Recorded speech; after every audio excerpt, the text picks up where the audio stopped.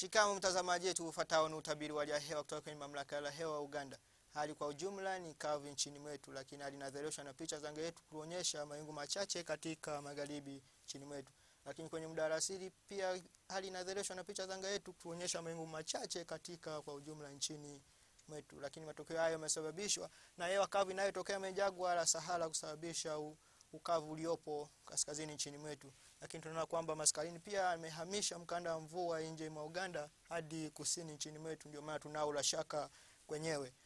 Lakini hali ya hewa kesho asubuhi tunatarajia kuwa na vipindi vya jua kali katika maeneo mengi nchini mwetu, lakini kwenye pwani za ziwa Victoria tunatarajia ulashaka kwenyewe.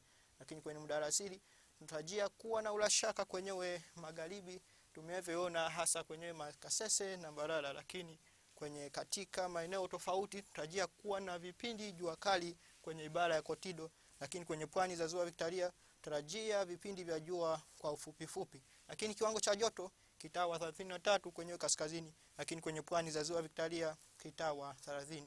Haya ni muhimu kwenye wasafiri kwenye miji tofauti, na tunakushosha na hali ya hewa kwa kwamba kwenye miji kama Lagos na Johannesburg tunatarajia vipindi vya jua kali na kiwango cha joto kwenyewe Johannesburg kitawa 36.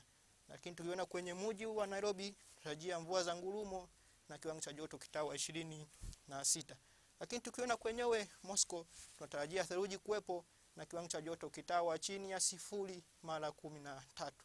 Zaidi hayo tumekupa, unaweza kupata kwenye mtandao ufuatayo umevyotangazwa pale. Asante kwa usikivu wako, tafadhali ungane nasi hapo kesho tena muda na wakati kama huo. Asante.